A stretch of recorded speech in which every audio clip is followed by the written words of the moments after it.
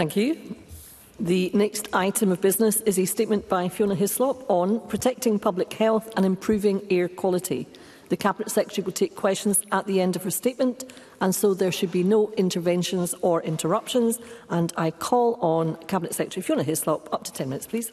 Presiding officer, when it comes to protecting health and tackling the climate emergency, which all of us in Parliament claim to have an interest in and claim to see as a priority, The warm words and the rhetoric are the easy part. The hard bit is taking action.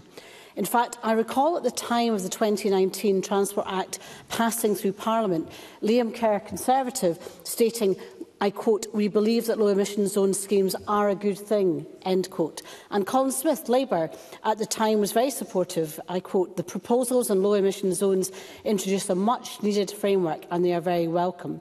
And showing the support extended across all parties, Mike Rumbles, Liberal Democrat, said there are good measures in the bill, such as the creation of low emission zones. Now, this government will never shy away from taking the tough action that is required to protect the health of the most vulnerable and tackling the biggest threat that our planet faces.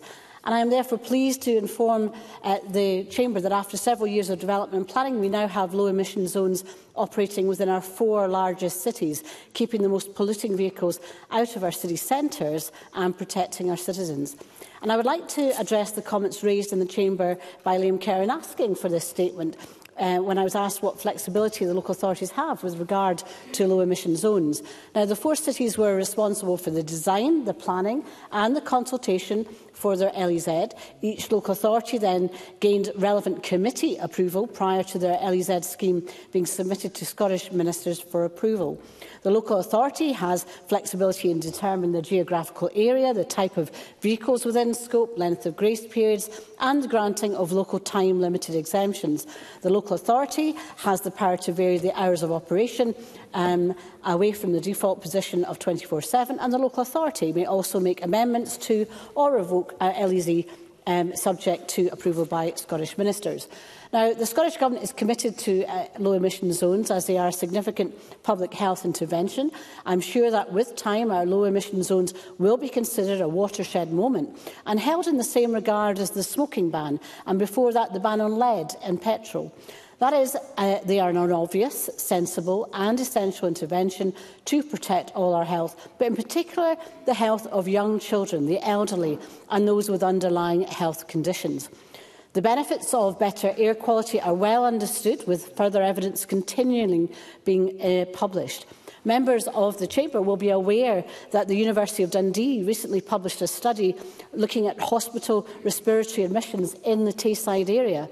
And this study found that respiratory uh, admissions in children were significantly associated with elevated level of air pollution in the area.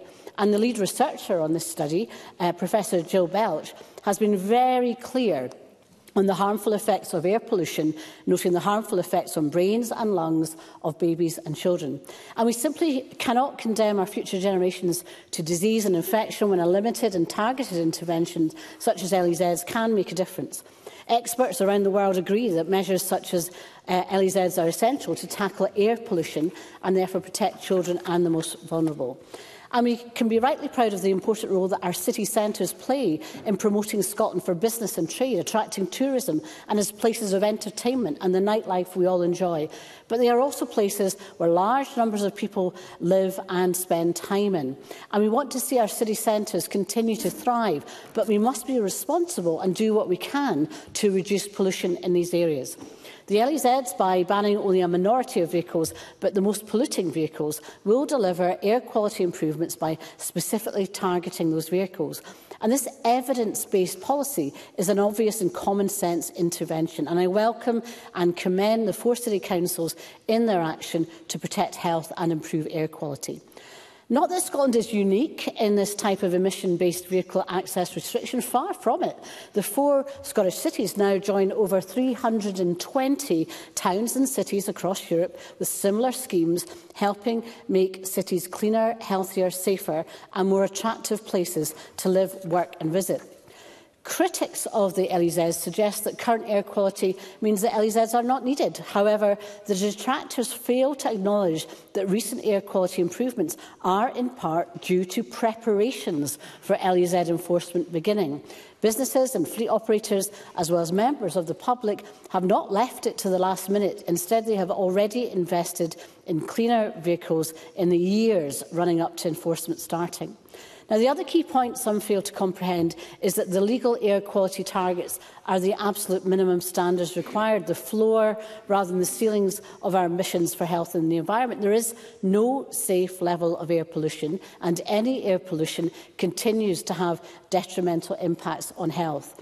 Hope Street in Glasgow has long been known to be the most polluted street in Scotland, yet with the first bus-only phase of Glasgow's LEZ having started in 2018 and with cleaner buses in place, this street now just meets the minimum air quality targets. With all vehicles in Glasgow now also being required to be LEZ compliant in the city centre, we can expect even better results in the future. Any suggestions that the LEZs have made air quality in the LEZs worse is nothing more than mischief making with some selective cherry picking of data and based on limited information. Full monitoring and performance reports, including air quality in the cities, are a statutory requirement and will be published in due course. This government has provided extensive support to those households on low incomes and micro businesses needing help to prepare for the LEZs. Since 2019, £13 million pounds has been provided through our LEZ Support Fund to help low-income households and micro-businesses prepare for the LEZ.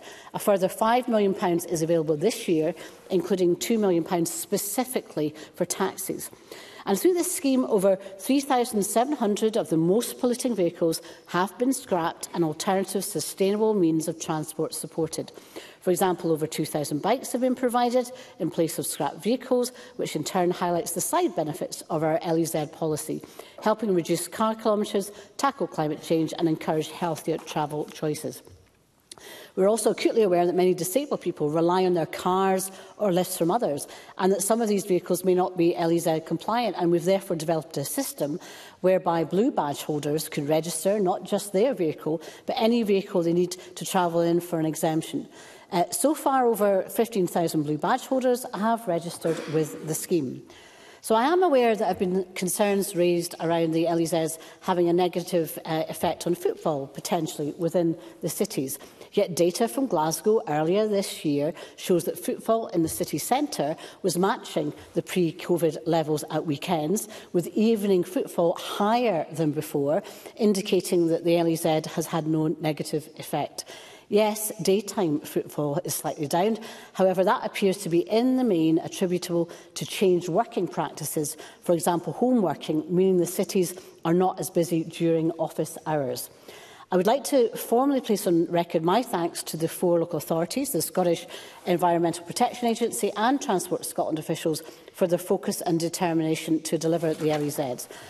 The work behind the scenes is undertaking the detailed assessment and design of the LEZs, and it's been underway for a long time. In addition, extensive marketing and awareness-raising campaigns undertaken since 2019 have helped drivers and businesses around the country by allowing ample time to prepare for the LEZs. Presiding officer, we acknowledge the move to LEZs, while not affecting the vast majority of vehicles on the road, will mean that owners of high-polluting older vehicles will have to take action to avoid receiving penalty charge notices, whether that means switching to a cleaner vehicle, noting that petrol cars newer than 2006 are generally all compliant, or to more sustainable transport options or varying their route to avoid the relatively small city centre areas. The effect is that only the owners of the most polluting vehicles need to take action. The introduction of the low emission zones is an essential measure to tackle the potentially life-changing impacts of harmful air pollution. I would like to think all members of this chamber see the low emission zones for what they are, a reasonable and proportionate response to a very real public health issue that has gone on largely ignored for far too long. Thank you, Cabinet Secretary. The Cabinet Secretary will now take questions on the issues raised in her statement. I intend to allow around 20 minutes for questions, after which we will move on to the next item of business. And it would be helpful if those members who would wish to seek to ask a question could press the request to speak buttons. And I call Graham Simpson. Um, thank you very much. And can I thank the Cabinet Secretary for advance, advance sight of her statement? However, I have to say there was very little point to it. It doesn't tell us anything we didn't know already, apart from revealing an alliance between Liam Kerr and Colin Smith and Mike Rumbles. It doesn't announce anything. It's just a defence of low emission zones. But for the avoidance of doubt, we've never been against them in Scotland. Our view is that it's a local decision and our concerns have always been about the implementation. If we accept that um, the owners of older vehicles are quite often uh, less well off, uh, can I ask a couple of questions? What analysis has the Scottish Government done on how many older vehicles will be affected in the low emission zones for those who live and work in the zones? And can she say how many taxis in Scotland are still non-compliant? Cabinet Secretary. Um, so a number of things here. Uh, I'm more than happy to take parliamentary time to promote good policies like low emission zones, so I'm happy to be here uh, to make this statement. I would point out that the reason we're having this statement is because Liam Kerr didn't understand the responsibilities between national government and local government of what flexibilities they are, which is why I took the opportunity right at the beginning to address those issues. I agree, this is about local decisions. If the member wants to talk about local implementation, then that's probably not the basis for asking me questions functions as the National Cabinet Secretary for Transport, but is the issue for him to have meetings with the local authorities that he refers to. His substantive issue is around um, how many are affected. Um, 75 to 80% of cars that will be in the city centres are expected to be compliant. In relation to taxis, we know, for example, in Glasgow, there's one, there's, there's, uh, well, there's been a, a total support there's a, for Glasgow, which means that there are now 1,100 taxis are compliant in Glasgow, And I can also provide information to him that Glasgow City Council has provided exemptions post um, post uh, end of uh, June 2024 this year for another 202 taxi vehicles. So I've tried to give him some additional information we may not have, but I would remind him the reason we're having this uh, statement is because Mr Kerr wanted some clarity about local flexibility. I call Alec Riley. Presiding officer, Firstly, I would want to be clear that Scottish Labour supports the view that local authorities should have the power to be able to tackle poor air quality and air pollution where it exists.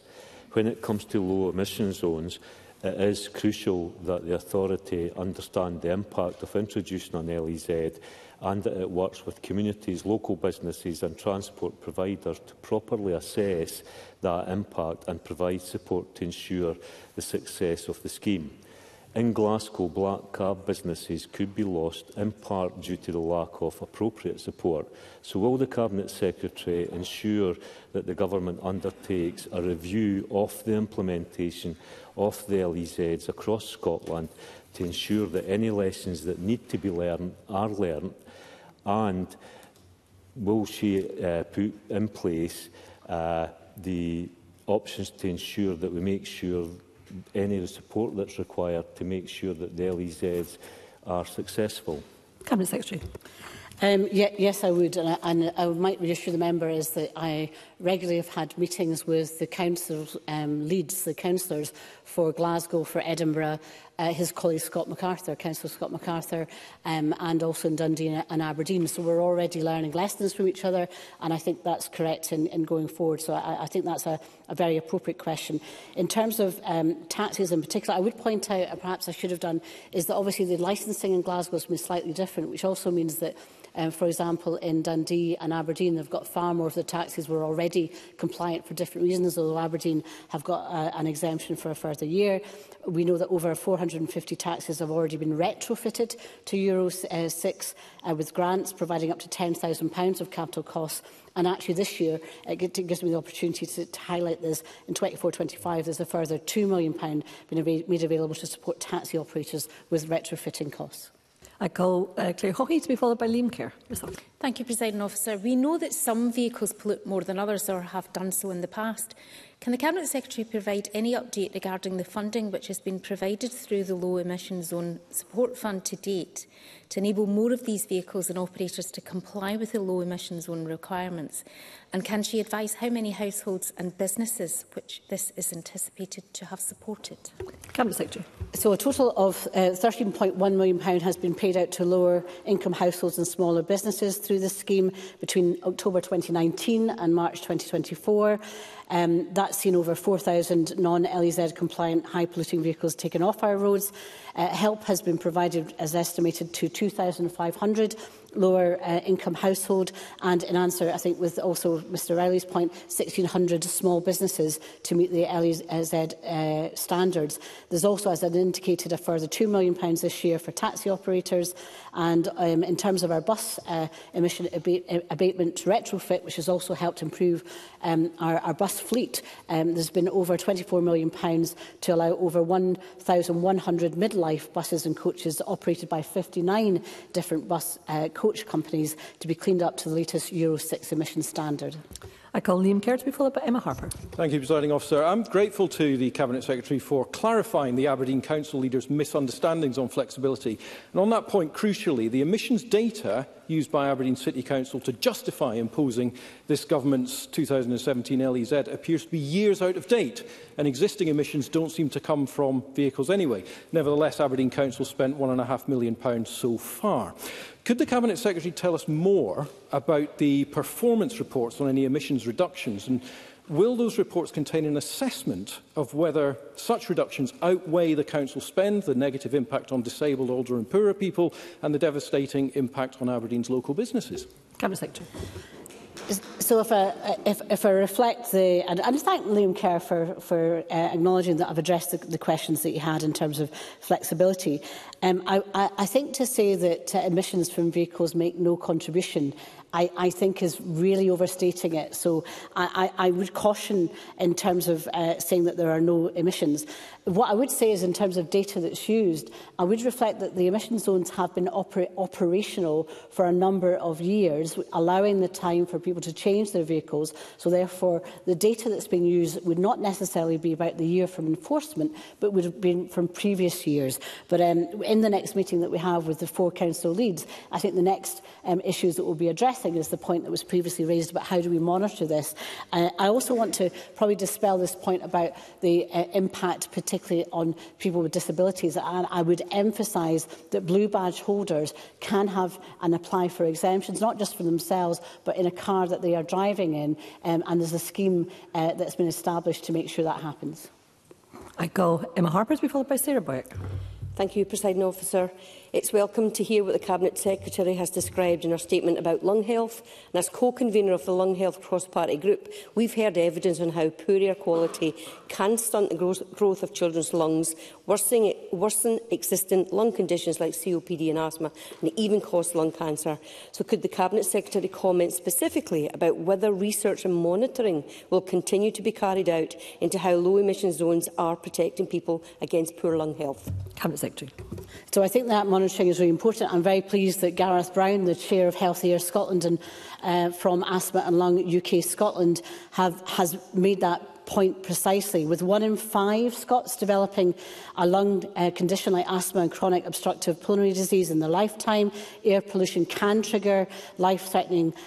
um, asthma attacks and flare-ups, and children, as we've heard, are more susceptible. So I think the health and the public health aspects of this are very important. I commend the work that has taken place from the University of Dundee. And I would like to see, obviously, more work being done in this area to do the exact monitoring um, that uh, Emma Harper uh, expresses. And I can also pay tribute to her and indeed others in this Parliament for raising the issues of those with um, lung uh, diseases and, have, and the impacts that that can have on their daily lives. I call Sarah Boyack to be followed by Ruth McGuire. Can I ask CABSEC for an update on what financial support the Scottish Government has offered to councils, both to upgrade their own fleets and to small businesses, particularly given the cost of upgrading to electric vehicles, which many want to do, um, but the challenge in the aftermath of COVID and how that impacted on a lot of our small businesses? Cabinet Secretary. Um, so fleet replacement is something that we're very conscious of, not just obviously for this issue, but for in, in general in terms of um, supporting electric fleet. We have already uh, provided funding for them and we are about to, although I'm not sure what, what we can actually announce at this time, but about to um, provide more funding for councils for their own fleet replacement when they've applied in, in terms of that area. I think that's an important part of it. She asked about support for councils. Um, there's also been support for them in terms of the promotion of and the, um, I suppose it's the administration of this. Uh, it's variable between which councils as to whether they have received this money, but they're in the process of re receiving support for low emission zone administration. I call Ruth McGuire to be followed by Lorna Slater. Thank you, Presiding Officer. Children are particularly vulnerable to air pollution from when they're in the womb until they reach adulthood. This pollution can cause low birth weight, asthma, reduced lung function, amongst other things. With the European Environment Agency, Agency estimating over 1,200 deaths in people under 18 a year are caused by air pollution, does the Cabinet Secretary agree with me that air quality policies such as LEZ should protect the health of children and young people by explicitly taking into account differences in their biology and exposure pathways? Cabinet Secretary. I think what's been very striking in recent weeks has been the contribution from health experts who've helped explain to us the differences in terms of the impact, particularly on young people. Uh, they're developing, so therefore the impacts are even more severe. There's some interesting work from the University of Aberdeen that have looked at the cognitive development of uh, babies and children and the impact that that can have. And so therefore the air pollution issue is absolutely firmly in the public health uh, arena now. And I'm very pleased to see that actually across the cities and from different parties, we do have support for this policy. I call Lorna Slater to be followed by Joe Fitzpatrick.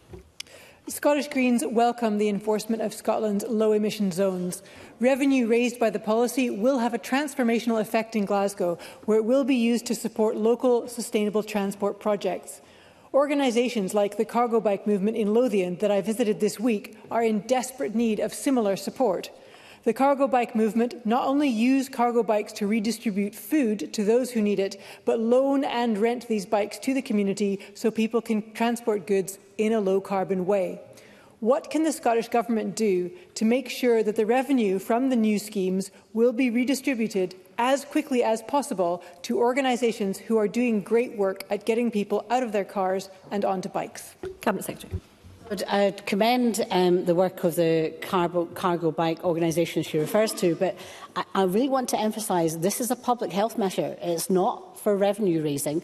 She's correct in saying that revenue raising uh, you know, is required to be spent on transport and improvement in terms of um, the, the issues uh, chosen by the local authorities. But actually, we want to be in a situation that it's not raising revenue because there are fewer penalty charge notices issued because actually we've improved the number of people coming in. So I, I'm very keen to make sure that uh, we're pursuing the policy for a public health point of view and it is not being pursued for a revenue raising point of view. Joe Fitzpatrick to be followed by Liam MacArthur. Thank you, Presiding Officer. I'm sure that the Cabinet Secretary will join me in commending the fantastic work Dundee City Council has been undertaking to electrify its vehicle fleet and support the increase of electric taxis and buses in the city. It is, of course, early days for the LEZs in Dundee, Aberdeen and Edinburgh, but is the Cabinet Secretary aware of any significant problems with compliance or early impacts on people travelling to and around Scotland's city centres? And does the Cabinet Secretary share my concerns that the interests of the Tories, rather than being concerned about people's health, appears to be entirely connected with the upcoming general election? Cabinet Secretary. So I think the, the, the, the member's made his point about the, the, the latter part. I'm not going to comment on that in, in, as a minister in the pre-election period.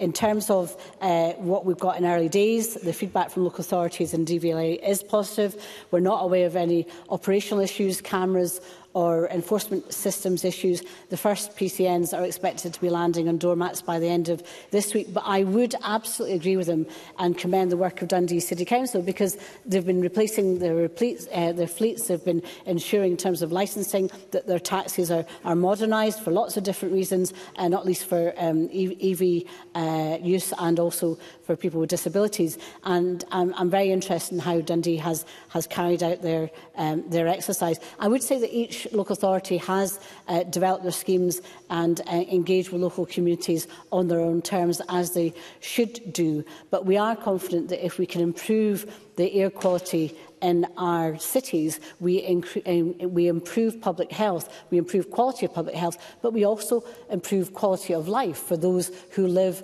work and visit there. I call Liam MacArthur to be followed by Sue Webber.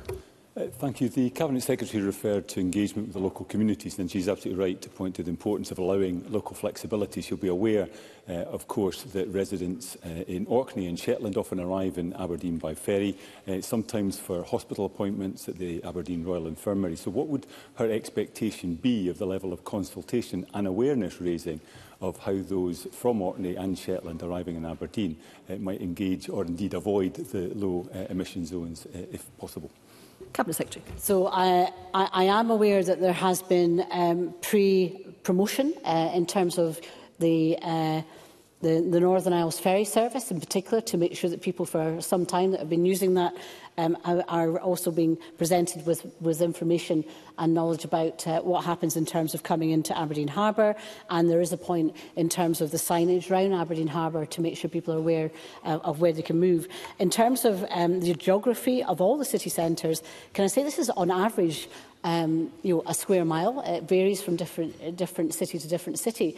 And it ends up being between 1% and 2% of the whole city environment that's affected by this. But of course, it is the part of the city that is mo most congested and where the air quality issues have historically been more problematic and where people live and we need to improve the, the, the public health aspects of air quality affecting children in particular. I call Sue Webber to be followed by John Mason. Thank you. The ministerial team have given their full backing to the low emission zone in Scotland's capital, which may also reduce traffic vo volumes and tackle congestion across Edinburgh. So will the minister uh, also then give his backing to a project which is estimated to remove half a million cars during the Central Belt rush hour, one that will be more beneficial to achieving our net zero goals than Edinburgh's low emission zone and build a station in Winchborough? Cabinet Secretary. So uh, I, I would refer that I'm the Cabinet Secretary and I'm answering the question, but and, and I think Sue Webber's been in this chamber long enough to know that it's the same minister that answers questions as actually presents them. Uh, can I say I'm a great champion of Winchborough in my capacity as a backbench uh, MSP and have been for many, many years. And also, as I said in committee just yesterday, was instrumental in bringing all the players together to make sure we get to the stage where we're actually further on than we would have been otherwise. And I'm delighted that my colleague, uh, Mr Fairley, will be taking on that issue. But I think she makes an important point that if we are going to tackle congestion in cities, and I'm not just talking about the city centre, but the wider areas, it's actually the people of East Lothian, Mid Lothian and West Lothian that have to be supported supported in terms of how they travel into cities. And so therefore on that point I would agree with her. And I call John Mason to be followed by Pam Duggan-Glancy. Uh, thank you. I wonder if the Cabinet Secretary agrees with uh, eh, Dr Richard Dixon in today's Scotsman when he says that the successful introduction of low emission zones in Scotland has been despite a certain amount of nervousness, nervousness and political parties playing games, showing that politicians can be bolder when introducing environmental measures. And he goes on to say that a survey found that three times as many people in Scotland supported LEZs as opposed them. And therefore, would she agree that, in fact, we could, the public has more appetite for well-designed environmental measures? Cabinet Secretary. I do indeed, uh, uh, and I recognise the recent opinion polls that show that vast majority of support from the public for this. And, and I, I, I do regret if there has been any party political positioning around this.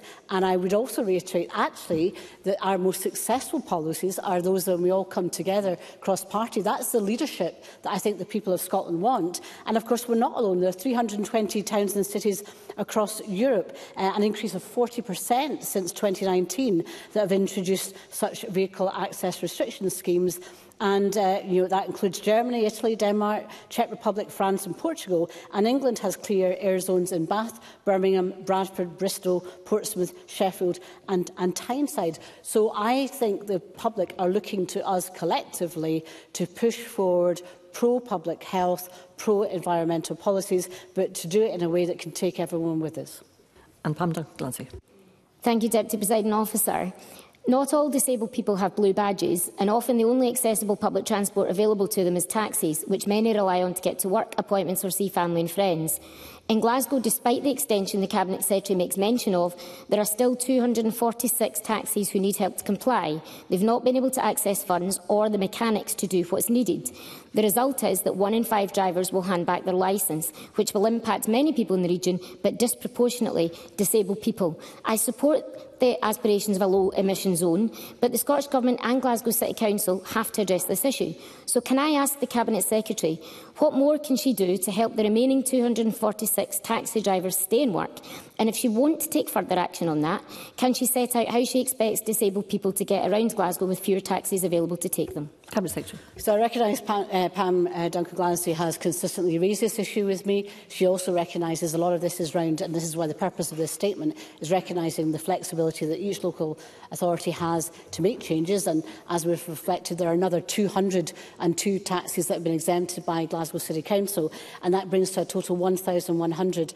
Um, my understanding, I'll correct correct that, the record if I'm wrong in terms of that total, um, that, that are available for youth. Now, the issue then is, um, I think that Glasgow probably, a bit like Aberdeen has, a bit like Dundee has, and Edinburgh, has to recognise, and indeed my own local authority, uh, where all the, the, the, the black cabs, for example, have to be um, have dis disability access. So there's a variability between different local authorities as to the required licensing for people with disabilities who need to use taxis. So I think that needs to be the focus rather than the LEZs. Thank you, Cabinet Secretary. That concludes the ministerial statement, and there'll be a short pause before we move on to the next item of business to allow frontbench teams to change positions should they so wish. Thank you.